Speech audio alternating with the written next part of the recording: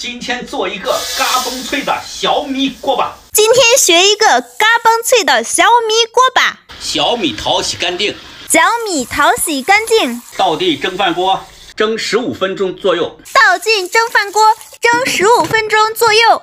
蒸好出锅，蒸好出锅，加一点盐、五香粉、小苏打，加一点盐、五香粉、小苏打，打两个鸡蛋，加一点面粉，揉成一个面团儿，打两个鸡蛋，加一点面粉，揉成一个面团儿，擀成薄片儿，越薄越好。擀成薄片儿，越薄越好。切成小块儿，用叉子扎眼儿，切成小块儿，用叉子扎眼儿。油温六成，下锅炸，炸至两面金黄，出锅。油温六成，下锅炸，炸至两面金黄，出锅。撒椒盐，撒辣椒面儿，拌匀。没有椒盐，撒孜然，撒辣椒面儿，拌匀。请大家参考。嗯，嘎嘣脆。请大家品尝，我先尝一尝。